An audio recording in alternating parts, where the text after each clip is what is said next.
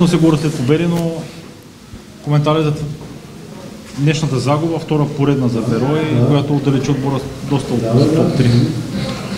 А, така е, трудно е да се говори след загуби, но няма как да говорим само след победи. Така че а, тук е момента, който искам да кажа, че а, трябва да направим всичко възможно. Те футболисти на ново да се поверят, защото не може да играеш 15-16 мача на ниво и накрая за два мача да се получават такива катаклизми игрово.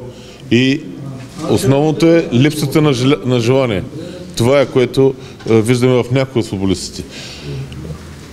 Ако така да се каже, нямат желание, ще бъде направено всичко възможно тези хора да или да имат желание, или да си ходят от бюро. Защото без желание не се получават нито тактика, нито схеми на игра. Как, как да говорят старши тренера за, за тактика и за схеми, при положение, че ние стъпваме в единоборствата? Как да стане? Срещу нас идват отбори, които играят агресивно, затворено, мъчат се и се взимат с затворената игра, се взимат точките. Ние днеска избягахме от нашия стил до някъде, заради това, че може би резултата нали, така наклони начина, по който трябва да играеме. Но самите футболисти трябва да се дигнат и да проумеят, че те, те имат качества, защото те са футболистите на Бероя в момента. И наистина, който няма, няма амбицията да се представя добре, ще има други, така да се каже, санкции. Примерно Томаш използва думата страх за поведението на играчите днес. Ами, значи треньора най-правилно вижда в очите на играчите какво става долу. Ако той е забелязал страх, аз не виждам как може някой от футболистите да, да изпитва страх от е, отбор като Черноморе, който играе затворено, агресивно, с нищо ни не превъзхожда, така че ако има страх е недобре. Говорите за липса на желание, на какво отдавате това? Като Ами- преди, че Беро е, си плаща заплатите на време, няма нещо, което е закъсняло, не е като в някои други отбори. Вижте, заплати плащат навсякъде. Не, не е само за Бероя да се говори, че Бероя плаща заплати. Заплатите се, се получават и другите клубове. Футболистите говоря за, определено за този матч, че в някой от тях аз не видях достатъчно желание, себераздаване, за да може да се обърне този негативен резултат. Не, не говоря за, за нежелание за, за, за игра и постоянно или нещо друго. Просто не видях днеска амбиция и така себе отрицание да може да се обърне резултата.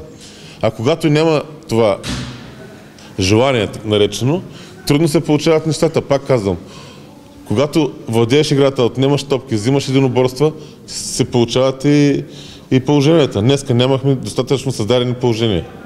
Това е. В началото на сезона се говореше за надграждане и за постоянство, но сега след тези че изглежда, че и, и двата термина изглеждат не на място. Ами, значи, надграждане, аз мятам, че ние достатъчно надградихме в един определен момент. Има а, падове и изкачвания. В момента явно, че имаме някаква такава мини, мини, мини криза, но не можем с два мача, все пак сме все още четвърти. Нищо не е загубено, има достатъчно мачове. Програмата ни в тези 4 мача е достатъчно трудна и ние трябва на всяка цена да направим нужното да, да вдигнем футболистите и най-вече те самите. Защото а, ясно е, че ако наведем сега глави, никой няма да спечели. Абсолютно. Имаме два мача, трудно е наистина. Останахме без няколко основни футболисти. Не, че е оправдание, но двамата ни централни защитници е Ерол Ел- Елкан и сега и положението и с Георги Ангелов не е цветущо. Простия глупав картон на мешка довежда до все пак на хора, които до някъде се разчита да помогнат в определени моменти. Затова има достатъчно други хора, които трябва сега е момента те да се докажат.